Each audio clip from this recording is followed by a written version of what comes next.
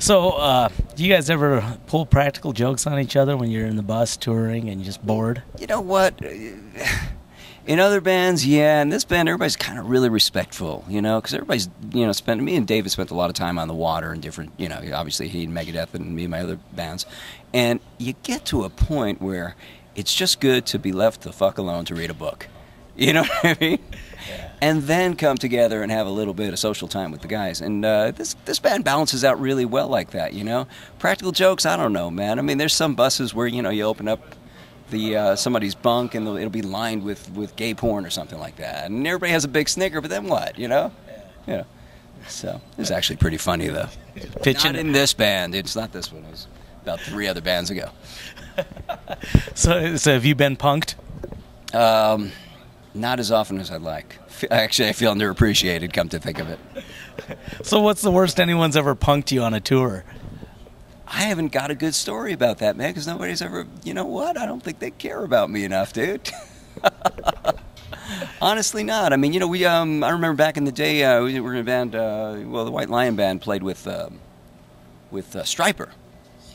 Kind of crazy. Is uh, the last gig was in Washington, this little small theater. I don't remember the name of it right now, but um, it's traditional to kind of punk the bands, you know, as you go back and forth and do little things during their set. So uh, we ran right out to the corner and got some of those penthouse forums. You know, they used to throw the Bibles out to the audience. Well, we had our merchandise guy in a devil mask throwing these forums out, and he was he was pretty good about it. He was looking out in the crowd, going, "Okay, you're now you're 14. You're okay. You're 22. You know." But um, so we did that, right?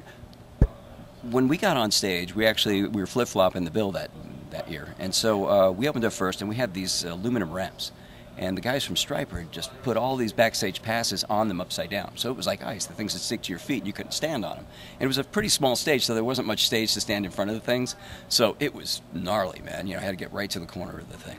So um, at the uh, when it was our turn, now we're pretty ticked off, you know.